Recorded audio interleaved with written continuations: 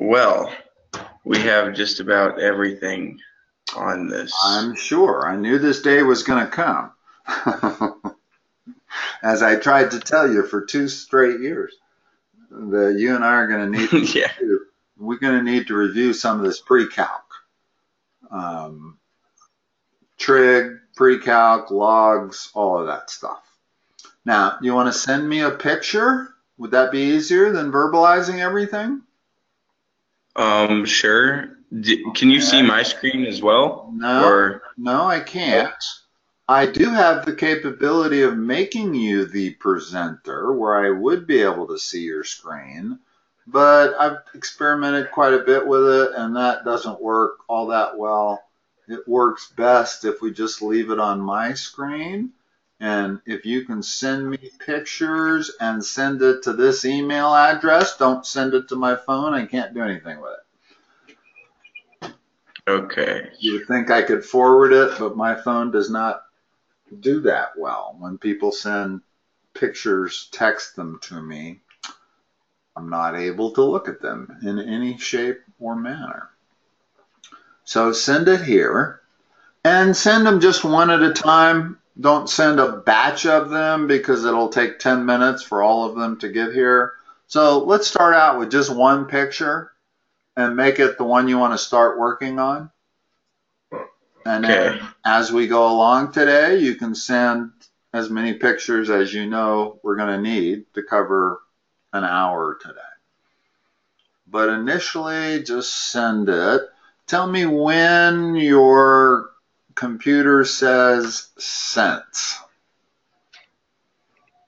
Mm, You got that email address? Yes, it should be. Let's. Yeah, make sure you spell it right so that it'll always be in there. In other words, from now on, is all you should have to do is type DA and it'll default to my email.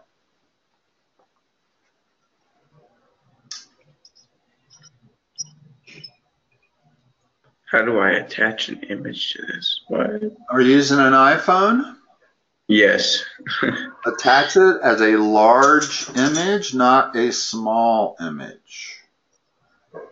And I don't have an iPhone, so I'm not sure I can instruct you on how to do it. Uh, once you figure out how to do it, it'll be automatic. And you need to figure out how to do it because we'll need to do it like this for, you know, as long as we're not in person. This is the best way to do it, is for you to send me a picture of the material. Now, if you can't figure out how to attach it, then I would say let's spend today. You can verbalize some problems. And then between today and the next session we have, you can figure out how to send an email as a large file image. I'm sure there's multiple people around there that know how to do it. You could look it up on Google and they'll tell Yep, you how to do it. I just sent you the first one. Yep. All right, let's have a look at it here. Mm, Okay, I got it. Now I should be able to download that and then I can zoom or rotate or whatever I need to do. Okay. Let me open up Zoom here. All right. So I tell you what, go ahead and send me the second picture because looks like we're going to be able to answer these pretty quickly, I think. Um, and you can send, if, if you have two more pictures you want to send, go ahead and send them in another email. And then while we're working on this picture, you'll be able to, we won't have to wait for the others to get here.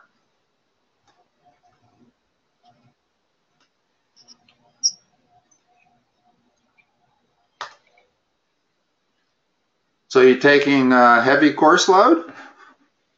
Um, I was at first. I've dropped a few classes. Okay. Are you living in the dorms? Yes. Yeah. How do you like that? Um, it's fun. My roommate's pretty good. Yeah. Well, that's good. That's important to have a good roommate. I uh, my first year at Mines, I had a bad roommate, and that wasn't any fun at all. He stole my He dropped out of school and stole my ROTC uniform and turned it in as his. Really? yeah, Ooh. that was not good at all. I had to go into the ROTC commandant and tell him what happened, and he didn't charge me for it. So, um, all right, we ready to begin on this? Yeah, I sent you a few more emails. Oh. Cool. I'll bring them up as need be. For right now, let's just go through these. Okay. Okay. Now, I now have the capability of writing on the document, which I have found makes it a lot easier. Okay. In other words, we're Okay. doing this problem. So how do I answer that question, what the domain is? Um. What do we know about radical signs? The square root sign. What is that? Oh, it's it's to the to the negative one half power, right? Well, yeah, but that's not really what we need at the moment. We need to figure out what are the allowable figures for t. Could t be minus 2? Uh, no. Because we'd be taking the square root of a negative number, right? Yeah. So, whenever you have a square root with a complicated expression inside, so all you need to do is take that complicated expression, and we know that it has to be greater than or equal to zero. We cannot take the square root of negative numbers. So whatever's inside that radical sign has to be greater than or equal to zero. Now, solve that inequality, and you'll have your answer. What's the next step? Uh, add 20 to both sides. So t squared greater than or equal to 20. And then and take the square root of both sides. So t would be the square root of 20. Gotta be a little bit careful. Excuse me, I'm gonna sneeze. Hold on. Bless you. Ooh, geez, a lot. yeah, it's allergy season here. You probably don't have that problem when you're in Arizona right now, do you? Yeah, I don't know. It's monsoon season right now, so Well, But I'll bet you the allergies are worse here than there just because the plant cycle is different. definitely. I remember you used to suffer from allergies, at least in the spring. Okay, so what's T? uh, square root of 20. All right, let's start by simplifying square root of 20. Now I'm going to leave what's in between them blank because this is a little tricky. You have to be a little careful when you have an inequality like this. But first of all, simplify the square root of 20. That's not an appropriate answer, and I don't mean use your calculator. I mean leave the answer in radical. So what is the square root of 20? Um, square root of 5 times 2. Good. So that's our radical sign. Now, we're not quite sure what the inequality direction should be, but clearly if t was greater than that, we'd be in good shape, right? Yeah. And if t is less than that, we're not in good shape. But if t is less than the negative of that, we're in good shape. Hmm. You see why?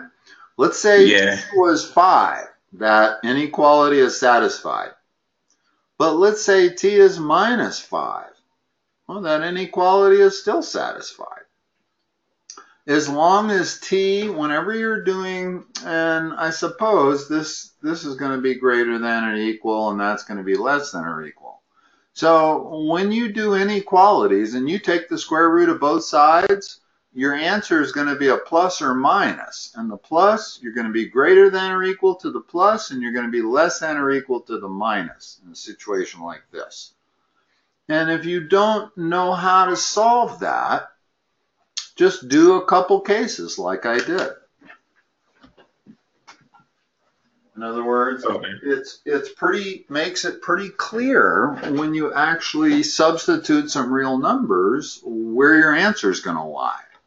But the biggest thing is when you take the square roots of both sides of an inequality, you have to be careful. Your answer is going to have a plus and a minus, and usually the plus it's greater than, and the minus it's less than.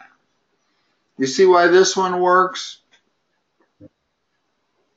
Yeah. Yeah, if t was, say t was minus 10, well, that's less than this. Well, minus 10 squared is plus 100. So anything less than this number satisfies that inequality, and anything greater than this number satisfies that inequality. So now let's talk about our domain. Let's put a number. Uh, first of all, tell me how they want you to express domain. Do they want you to use interval notation? Do they want you to just say this? In other words, that's that's the domain also. T has to be greater than that or less than or equal to this. I could also put it on a number line where I have minus 2 root 5 there, and I have plus 2 root 5 here, and there's 0, and that is my solution. So there's a number of ways to express domain. Are you familiar with interval notation? Yeah, I think he wants us to do like a um what is it? It's like t is less than or equal to negative two uh, to the square uh, times the square root of five, um, but or and then greater than or equal to two square root of five. So this on the lower right would satisfy him. Um, but he wants just like one t, and it's all written on like one line. Okay, you can't do that. What you can do is interval notation. Let me show you what interval notation is. If you start from the left, negative infinity, and here's our allowable domain. I use a bracket there because it can be that. There's nothing wrong with taking the square root of zero. But then it's in union with and it can also be 2 root 5 up to infinity. Infinities always have parentheses. So this is called interval notation, and it's all on one line.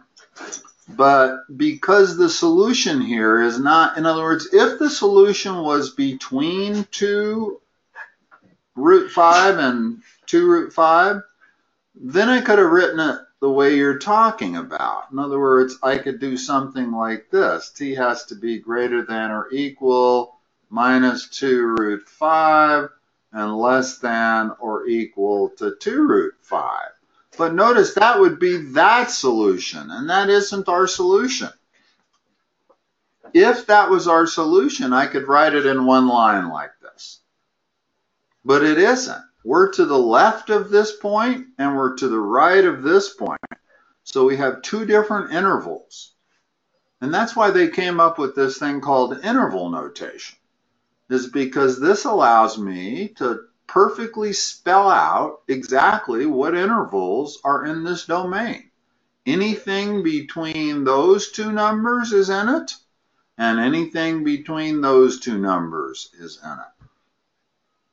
Yeah, he uses that the interval notation. Okay, good. Now we know what to use for the rest of it. So what like if when would you use in union as opposed to something else? Well, if you have multiple intervals, you're always going to have a union sign. You could have three intervals, you could have four intervals. There can be an unlimited number of intervals, but you just use this U sign. The key is whether you use parentheses or brackets. You understand when to use brackets? Yeah, brackets when it's equal to, or it could be equal to. Yeah. If it was just this, in other words, if it was just t had to be greater than that, then I would use parentheses on both of them. But since t can be greater than or equal to that, it's a bracket. And you always use parentheses next to infinity signs. Always.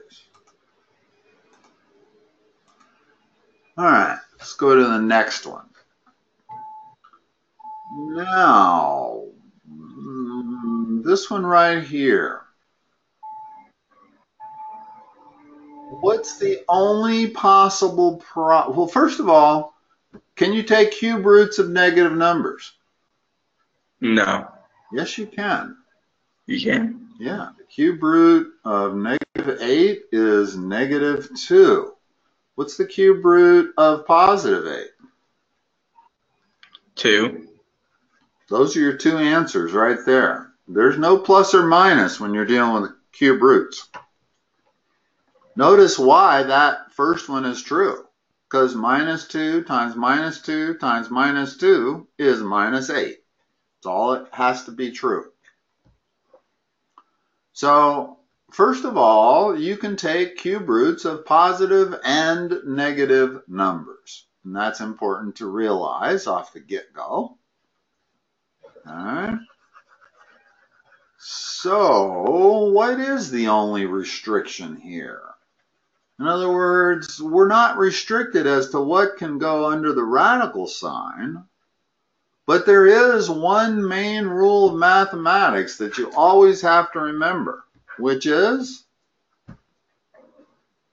Um, can't divide by what?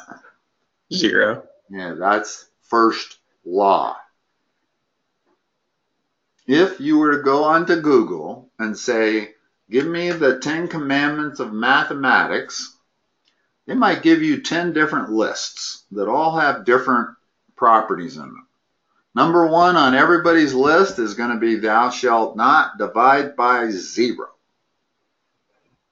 So there is one value for y that we cannot allow. What is it? Zero. Or no, uh, two.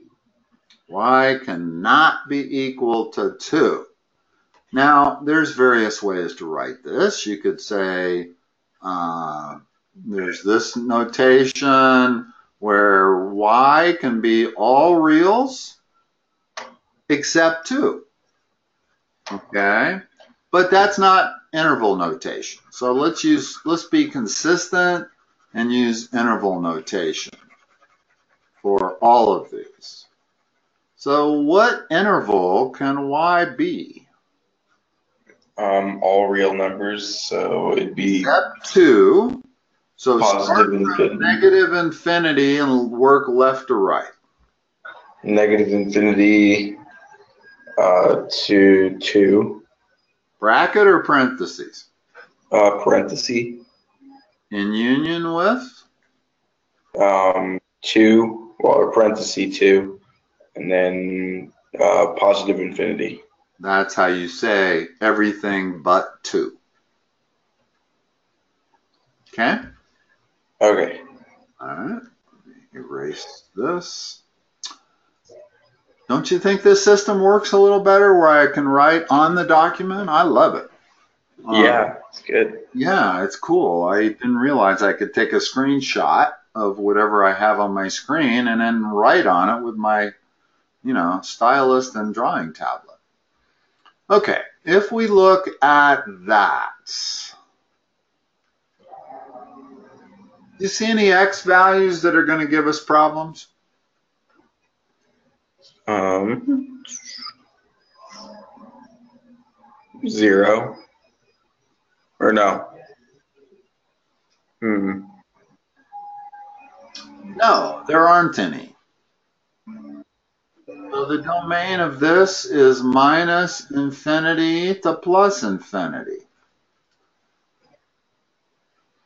Where you find restrictions is when you have a square root sign or dividing by something because you can never take the square root of negative numbers and you can never divide by zero.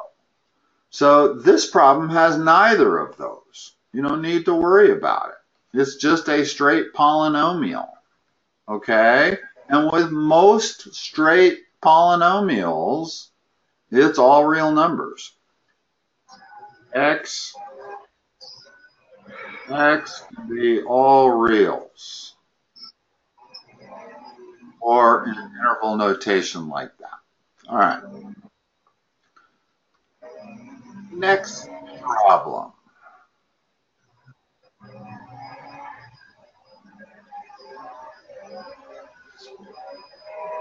Any restrictions on Z? Negative 4. Anything else? Um, I think that's it. Okay. Give it to me in interval notation. Negative infinity, comma, 4, or negative 4. Negative 4. Okay. Then unit in union, uh, parenthesis, negative 4, comma, positive infinity. Yeah. The only number that we don't want is negative 4. Domain is always that. When you're trying to figure out domain, you want to be in the mindset of uh, what numbers don't work. Because so many functions, you can take, like a polynomial, you can use any value for x there you want. You can use negatives negative, zero, positive, a billion, a minus a billion. So it's only when you have these special restrictions that you have to pay attention. Okay? Now, the last one here. There's a vacuum outside. I might need to put in my headphones soon. Okay. If it's bothering you, it's not bothering me. I I don't uh, hear it hardly, so. okay. Let's look at this function right here. On the right, what's the domain of that function? Um, values can x take on? E. Well, no. Again, you got to start thinking about what values can it not be.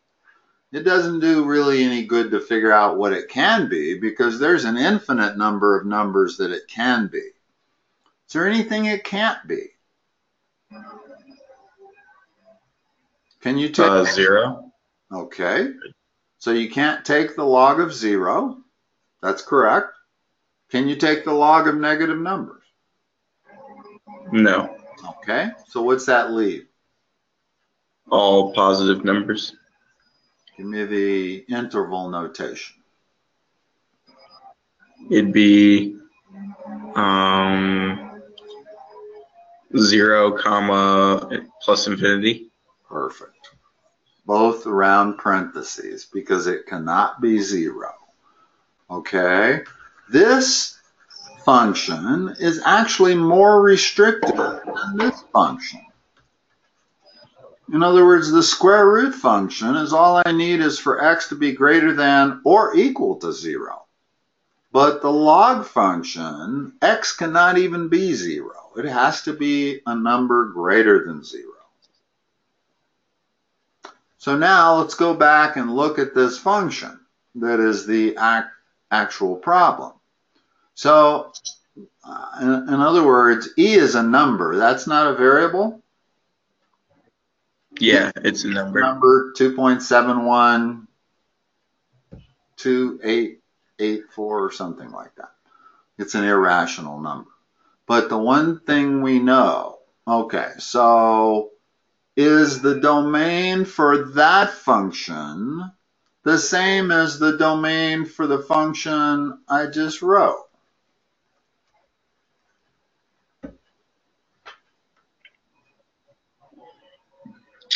Uh, I don't know.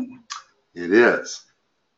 In other words, I can take the number e to both positive and negative exponents. There's nothing that prevents me from taking e to the minus 100 power. And there's nothing that prevents me from taking e to the positive 100 power. And in fact, I can take e to the zeroth power. So really our restrictions is entirely based on that. And that is the same as that. So what's the restriction again? What does t have to be? This time I'm going to write it a little more simple. I'm not going to write it in interval notation yet. So t has t. to be what? All positive numbers. Put it like that. That says the same thing, only numerically, not with words. t has to be greater than 0. Now, if I want to write that in interval notation, it's that, okay? But a lot of times, that's the easier way to think about it. Just t has to be positive.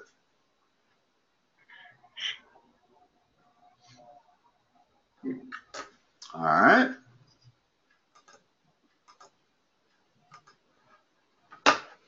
Use the line ax plus by equals c, where a, b, and c are constants, to answer the questions. Find the equation of the line that is parallel to the given line and passing through the origin. Okay. What does parallel mean? What main thing does that mean? I have two lines, um, if I have two have lines that are parallel, what do they have? Same slope. Ah, key. That's the key. So tell me what the slope of that line is. That's a line. It's just got an x term and a y term. It's not in your familiar y equal mx plus b format. So let's put it into that format solve this equation and put it into y equal mx plus b format.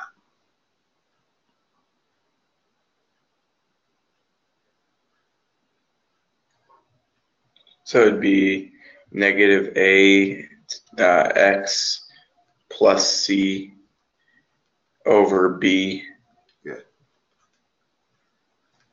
So or if I want to, I can separate that into negative a over bx plus c over b. Okay, so that's the equation. So what slope is it that we want? In other words, negative. remember they said the slope is the same. It's negative, negative a over b, a right? Over b. Yeah.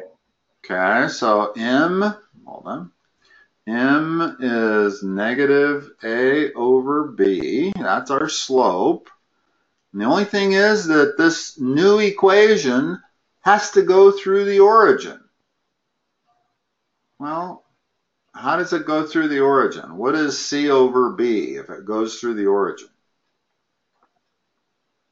Uh, zero.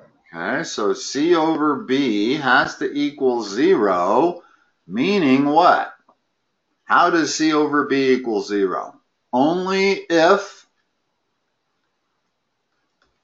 C equals zero. If C does not equal zero, then C over B cannot equal zero. In other words, Whenever you have a fraction equals zero, the numerator has to equal zero, always. With me? Yeah. So what's my final equation? So it'd be negative a over bx plus zero. Well, we don't need to add the zero. In other words, that's our equation that has the same slope, so it's parallel to this line, and it goes through the origin. Now, tell me, well, hold on. Rest of it, let's see. I want to erase only parts of it here.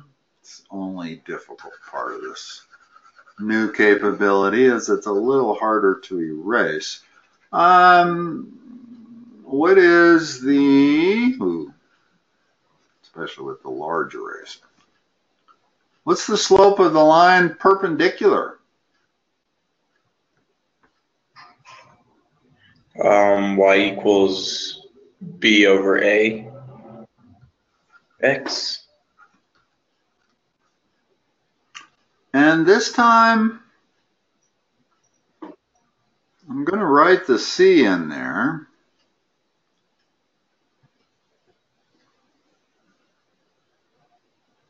Hold on a minute.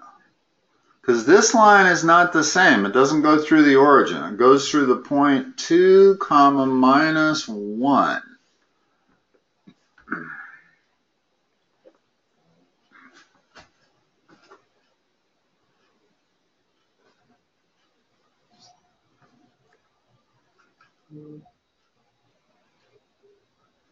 So there's the equation of our original line, right? Yep.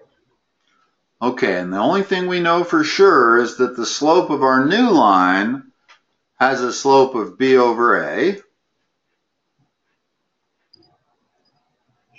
plus c over b. Hmm.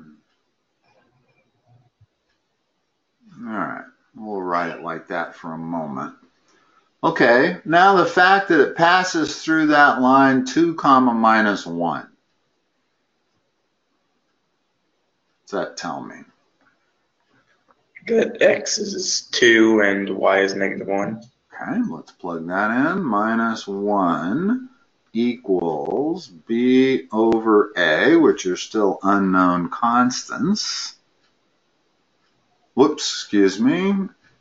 We know what x is. Whenever y is minus 1, x is 2 plus c over b.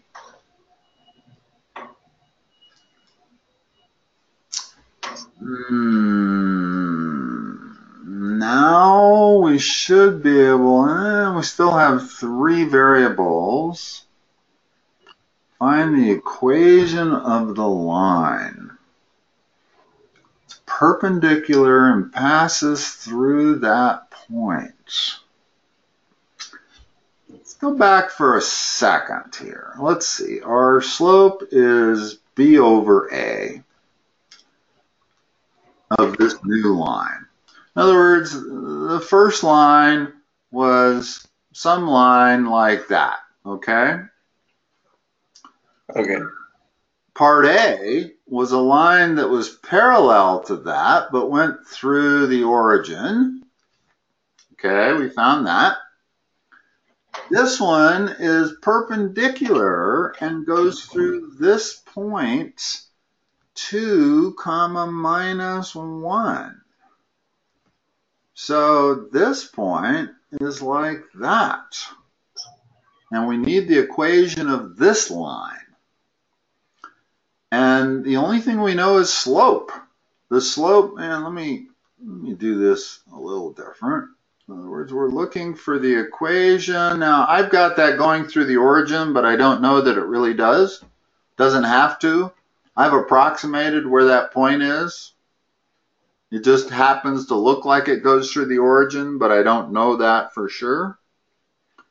So, in this case, I'm going to use point slope format y minus y sub 1 equals the slope times x minus x sub 1. Do you remember this? Yeah. This is the one you're going to use almost exclusively when you're doing calculus. Turns out that in calculus, you know the derivative, which is the slope, and you know a point.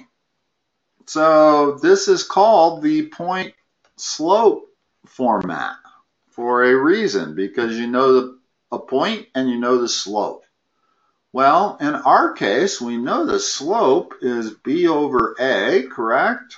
Did I do that? Remember, remember that right? Yeah. Okay. Now, fill in everything else. y minus what? Negative 1. So that's y plus 1 equals the slope, b over a, times x minus 2. So using point slope gives us that equation, and that's the proper answer. And granted, we don't know what b over a is, but by using point slope, I didn't even have to worry about c. And so you wouldn't subtract a negative or no, a one no, both sides? actually a very acceptable format for an answer. Notice this format is the same as the point slope format. It's y minus y1, which is the y point, equals the slope times the quantity x minus the x. So you don't need to turn that into y equal mx plus b format. Totally unnecessary. In fact, this is a better format. We don't want to turn it into the other.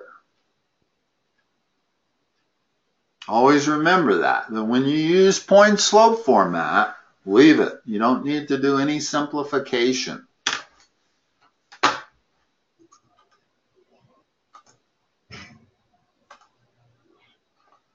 Let me see if I can go up on this page. I guess I need to go to a different page, huh? Yeah, let's go to your next email, which I presume is this one.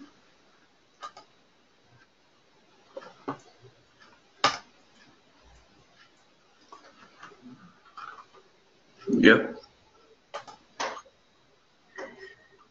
Oh, are we doing an hour today, Zach?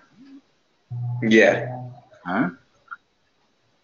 I assumed so, since you always do hours, not half hours so much. Okay. So let's look at this problem.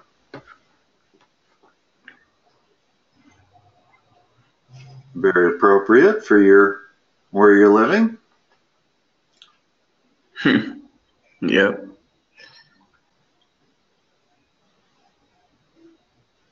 When is the driver 40 miles from Tucson? Um, at 60 minutes. Mm, that's a common mistake that one would make. What's the distance between Phoenix and Tucson? 120 miles. how far does he have to be from Phoenix to be 40 miles from Tucson?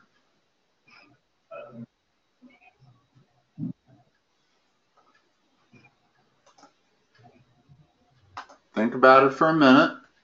Oh, okay. So okay. 20 miles between the two cities to be 40 miles from Tucson is to be how far from Phoenix? He has to be 80 miles away. Ah, it's that point right there. In other words, the vertical axis is distance from Phoenix. They tried to trick you by giving the distance from Tucson. So it's at 90 minutes that he would be 80 miles from Phoenix, which would make him 40 miles from Tucson. Okay? What's the speed of the car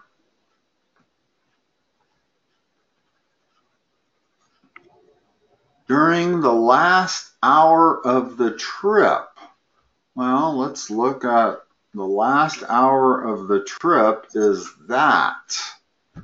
And we are looking at a position graph, are we not?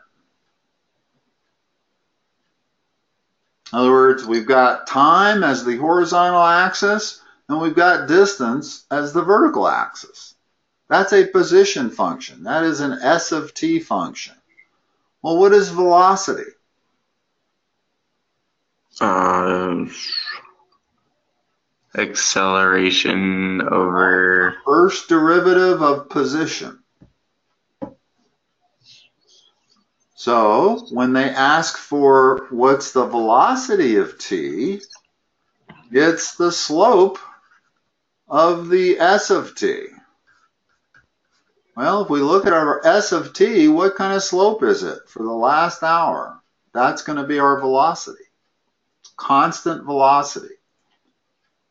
And it's all that slope. What is that slope?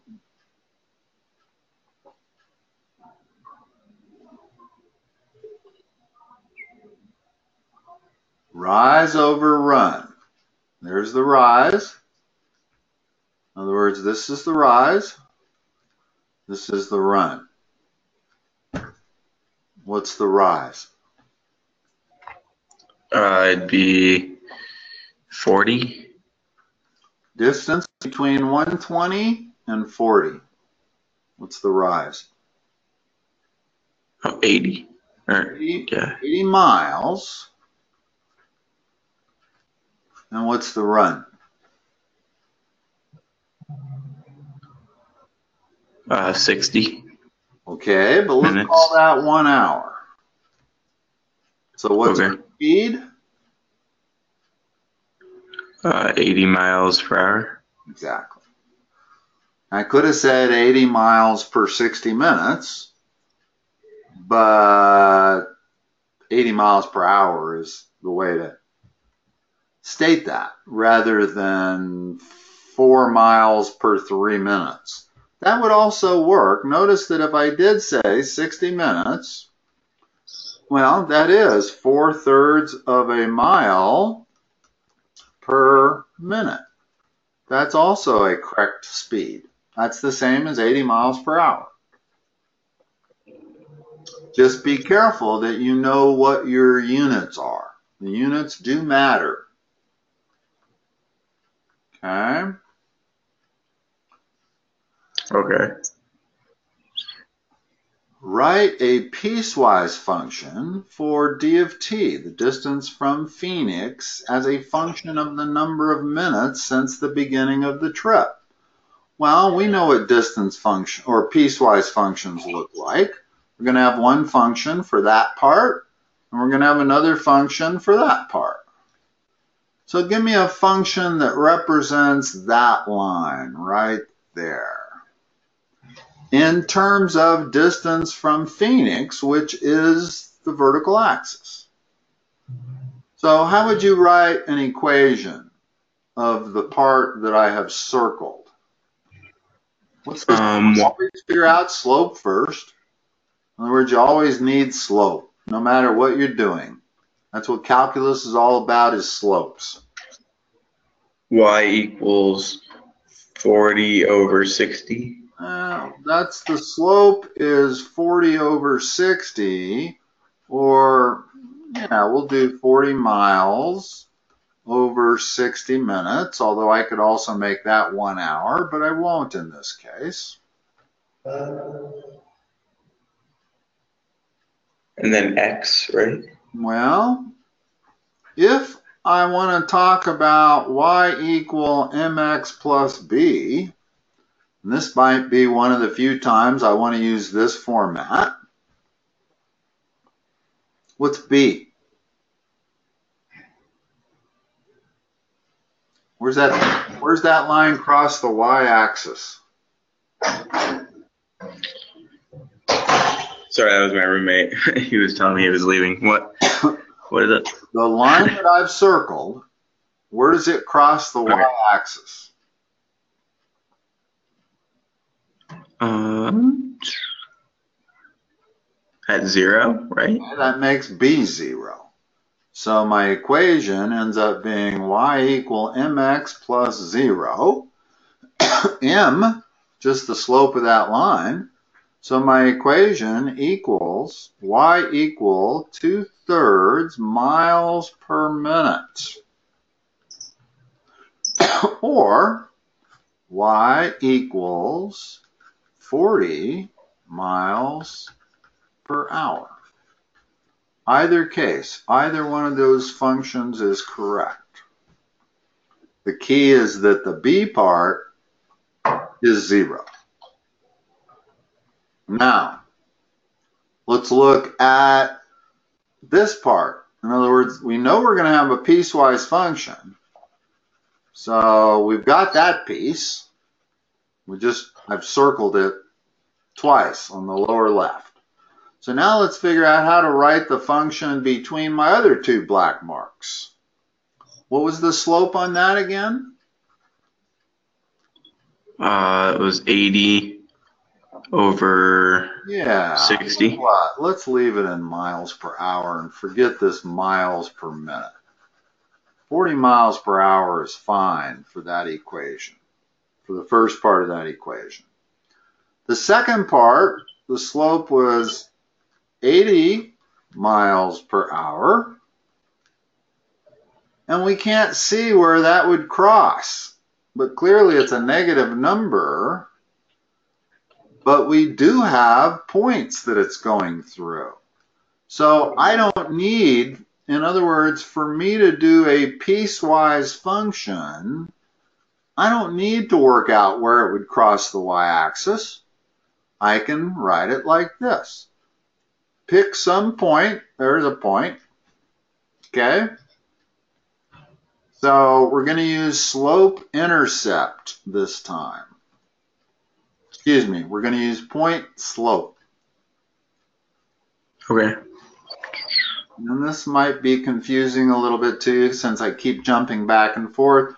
But when you're trying to write a piecewise function, I find it more easy to use whichever format of a linear equation works best. Well, I don't have a y-intercept on that part. So I'm not going to use the y equal mx plus b because I don't know where the y-intercept is. But I can use point slope. I know the slope and I know this point right here. So y minus what? What is that point right there? Uh, it's 40 over 60. If we're going to work in hours, then that point is 1 comma 40. Correct? Yep. 60 minutes, but that's one hour. And I've given the answers in hours. Let's stick with hours. So it's y minus 1, excuse me, y minus 40 equals, what was the slope? Uh, 80. Times what? Uh, What's x sub 1? What's x sub 1? 2. Or 1. Oh, okay, 1. That's our point. In other words, I picked, I could have picked any point on that line. Anywhere on that line, I could have picked a point. I chose the lower left part of it right there. And that point is 1 comma 40. So it's x minus 1. And there is the answer to part, well, part C has two parts. Let's write it properly. Um, in other words, let's write it in the way they want it written. So let me erase all of this. I'm going to write it over here in the bottom right hand side. So when, start with my domain. This is going to be, the function is going to be f of x equals when x is greater than zero and less than one hour, the function is this function, which was y equal 40. X. Okay? Okay. I forgot to put the X on there. Pardon me. That first part of that line is y equal 40x, with x being in hours. Correct?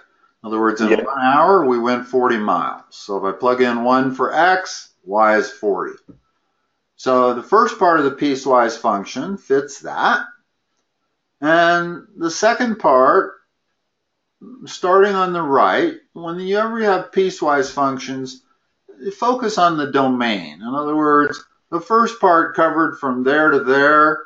The next piecewise function is going to cover from there to there. And what was that function? That one right there. If Yeah. you want, if you want to make these consistent, then let's simplify and move the 40 over. So this, Okay. this ends up being y equal 80x plus, uh, minus 40, right? In other words, if I simplify that, I get minus 80. Then if I add 40 to both sides, I get that. So that's the second piecewise function, y equal 80x minus 40. And that's when x is greater than 1. Now, in point of fact, the first one is less than or equal to 1, and the second one is greater than or equal to 1. Because this point, at, the 60 minute point, that's satisfied by both equations. In other words, when x is equal to 1 hour, I could use this equation to find my position, or I could use this equation. Notice that both of them give you 40 miles as a distance. So this actually applies. You can have it less than or equal to 1 and the other part greater than or equal to 1. You get the same result.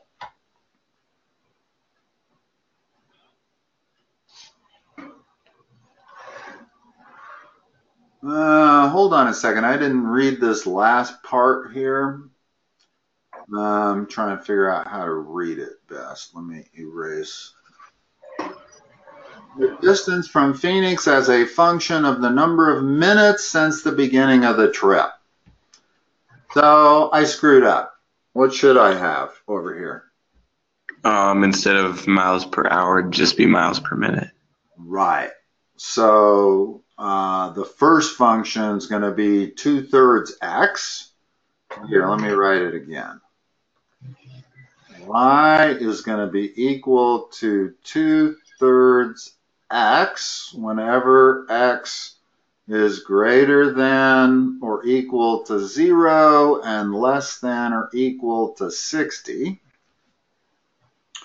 And the function is going to be y equals 4 thirds x minus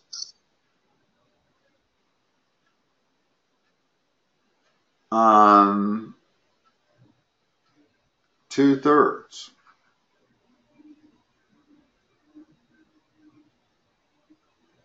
Because let's see if that fits. So when x is 60 minutes, this becomes 80. No, this got to be 40. Oh, because everything's in minutes. So, yeah. In other words, that's 40. And that is true whenever x is greater than or equal to 40. So there is our piecewise function. And you can test any point you want on that graph and make sure that we got it right.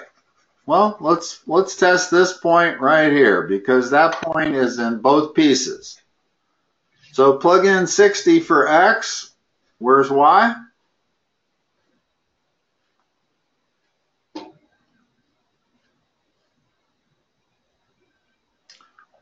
We're- 80 or what? It's 40. Plug in 60 for x and for that right there. It's 120 divided by 3, that's 40. Okay. That's correct. There's 40. And now go down to the second part and plug in 60 for x. What do you get?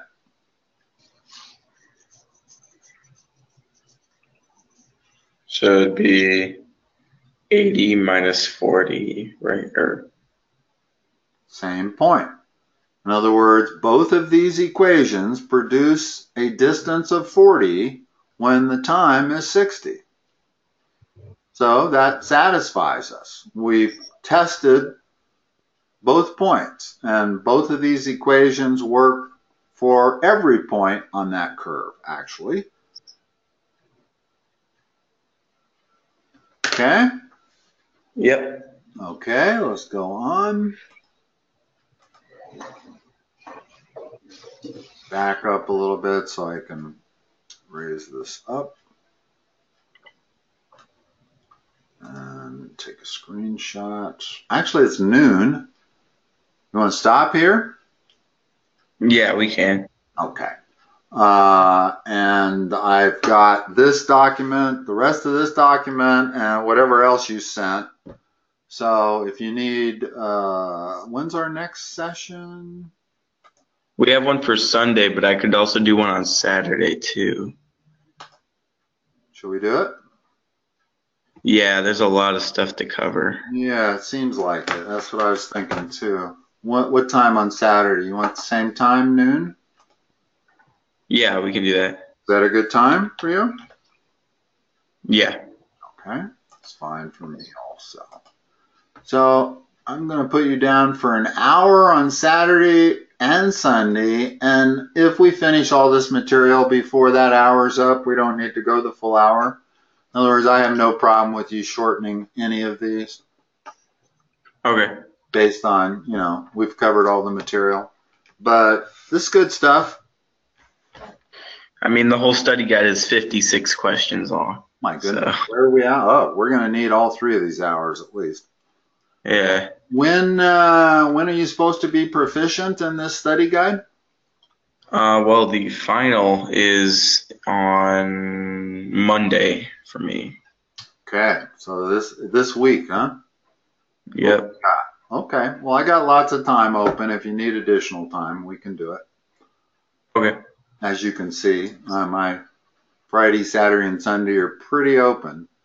Um, I might suggest you try a Friday session if you can do it, just in case we realize that we're going to need four sessions. I, that's totally up to you, but um, whatever. You, yeah, I'd have, whatever you I'd have to look at my schedule for Friday for that. Okay. Now this test is this to determine what your math course is going to be? Yeah, so I'm in 122A right now, and that ends on Monday, or no, ends on Wednesday next week. So we have like you either go into calculus or you go into a course that covers this material, correct? Uh, kind of. Yeah, something like Let's that. hope let's hope you go into calculus. You definitely Yeah. want to save yourself a semester of this material, but only if you know it.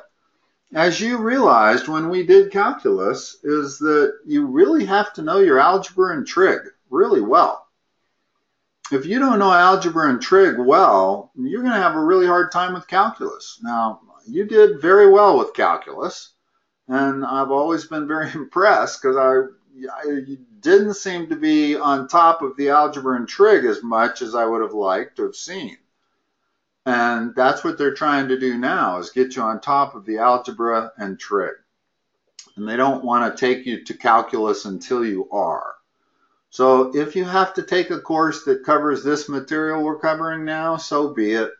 It'll probably be good for you to retake it. But Yeah, you but it'd also be bad that my first class in college I got like a an E or a D or Well, exactly. I don't think you would because what would you get in your calculus class at the end of the semester last year? What'd you end up getting? uh, it was either a B plus or an A minus. So you really shouldn't have any problem with calculus other than you got some weakness in algebra and trig, but not enough that it would keep you from getting through it. You managed to get a B plus and an A, or an A minus, and it's not going to be any different. The calculus Yeah. you're going to take as the first course is going to be almost identical to the calculus you took as a senior in high school. Uh, yeah, I think I remember a lot of the calc. It's just the No, uh, I think you'd be fine. So, in terms of getting through college, one less course that you have to take, that's better, right? Yeah. Okay.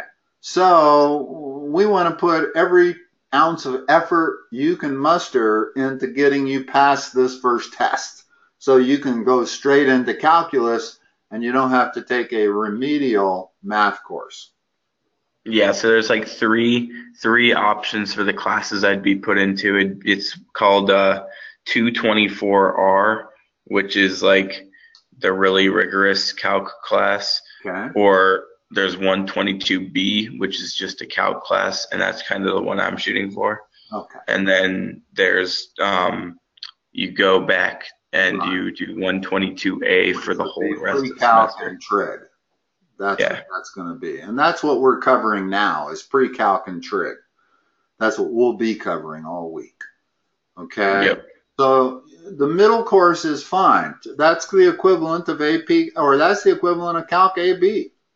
The top course is going to be the equivalent of AP Calc AB. Yeah. Then you might even be fine taking that. I don't know. That's kind of your call. I'm not sure. Well, I'd hope for at least one of the top two, hopefully. Yeah, no, and and that's what we'll be able to figure. Well, th- they'll determine that based on how good you do on this test. If you get an A on this test, then I wouldn't be surprised if they put you in the top calc course. But if you get a B or a C on this test, they might put you in that middle one. And if you get a D or an E, they'll put you in the remedial course. Yeah, so for this course, the whole course is 250 points, and 50 points of it is homework, and then uh, 200 points is the final. So I'm doing okay on homework. It's just the final that it's worth so much that Well, you know, if it comes down to putting in an extra hour to save a semester, having to take a course for a whole semester, that's that's not a bad deal, right? yeah, So think about that as we go through the end of this week. In other words, if we find ourselves not even close to covering the 53 questions or however many there are, then Yep. schedule more time or just accept whatever you get as the result. So okay. I'll And you actually you have you- my mom's number in there for my phone number. what's that? You have my mom's number in as my phone number. In there. Yeah, that's okay. I got you my contacts on my phone. So whenever I go to do anything on my phone, I use the proper phone number. Okay, and then how do I pay you? Do you have a PayPal account? Um, I think I do. I haven't used it in a long time. That's the best. yes. That's the best way. Okay. Now, what PayPal is is just an online bank. Okay, so you have to fund it. In other words, you have to have an, a balance in there. But if you have you, enough balance like in there, add a debit card. whatever the balance is, if it's enough to cover my fees, then that's the easiest way to pay. Because it's like Okay. two, two steps. You go to my website, you put the amount, you click on buy now, you put the amount you want to pay, and then you're going to put in your password for PayPal. Okay? So that's the easiest way. The hard way would be to have to write a check and mail it. Yeah. Do you have Apple Pay? I don't think I have it set up, but yeah, I have it. Well, I don't have it set up yet either, but if you have it and you have funds in your Apple Pay, you might be my guinea pig. In other words, once I can get Apple Pay set up on my website, I may have you try that to pay me, if you prefer that. Okay. It's probably a little easier to use that than PayPal for you. Uh, it's just I haven't set it up yet on my website, so I'm not quite equipped to handle Apple Pay, but I am to, to handle PayPal. Um, Okay. So initially, if you, maybe if you can use PayPal, that might work. And as soon as I get Apple Pay set up, I'll tell you, and then you can switch over if you want. All right. Well, I'll let you go. Okay, how cute are the girls? Oh, they're wonderful. I'll bet they are. University of Arizona always ranks up there. Yep. Most prettiest. Arizona. All, all the pretty girls want to go south. Keep away from the Yeah, snow. warmer You weather. don't have to go through any snow this winter. You lucky dog. I will. I'll be back up in December. Oh, okay. Well, let's hope you don't have to go through it then. Pleasant trip. But, all right, Zach. Well, uh, at this point, I will talk to you at noon on September 9th. Before I go, let me just show you something. Might not be aware of. If, ooh, hold on. Instead of, well, that's weird. Oh, that's because I'm clicking on the wrong thing. Sorry. Instead of communicating me, with me by text, the easier thing for you to do is go to Digital Math Tutor. Com. And if as soon as it comes up okay now go down to where it says schedule a session automatic scheduling. Book now. If I click on that it's gonna okay you want to do an hour online tutoring session. Pick a date pick a time. These are all mountain times and you can schedule something without communicating with me. And it shows you my complete availability. Now, the only problem, and, and I would recommend you doing this unless you want an appointment uh, around noon. Because here's what I typically do is I block off my noon to 2 o'clock periods for lunch. So let's say Okay. you wanted an appointment for next Wednesday, it's, it's going to not show me available from noon to 2. Now, that doesn't mean I have to have lunch from noon to 2. If you contact me and say the only time you can fit in a session is at noon, I'll make a session for you at noon and I'll eat lunch either before or after that. But if it's not around noon, then that's going to be the easiest way for you to schedule sessions is to just go to my website, look at my availability, pick a time, sign in. I get a text message whenever anybody does that. And my my text message just tells me, you know, Zach scheduled a session at what time on what date. Hmm. Sorry, my, my dog's having a seizure. Mm. Boy, it's sad to see when a dog has a seizure. It's not fun. But she has, Yeah. her toe body, her whole body's locked up. So she's kind of Yeah, my aunt's dogs used to do that. is falling around. So my main concern is to make sure she doesn't hurt herself while she's having the seizure. I dread that she'll be at the top of the stairs. I don't want her to have a seizure at the top of those stairs because she'd fall down them and hurt herself bad. Um, Yeah. But yeah. Anyway, that was going on in the background there. So I think I've given you all the information you need, and I'll let you go. Uh, at the moment, I'll talk to you at noon on Saturday, and the only thing I'll do is text you the meeting ID number in advance. Okay. In other words, I don't need to call you and give it to you. Uh, I'll text it to you, and then just go to this icon that you see over here. It looks like a flower. Double click that on your desktop, put in the meeting ID number that I've texted to you, and we'll be in a meeting. Cool. Okay? And you know how to close out a GoToMeeting? Click on the X in the upper right hand corner. Okay. Talk to you Saturday. Thank you.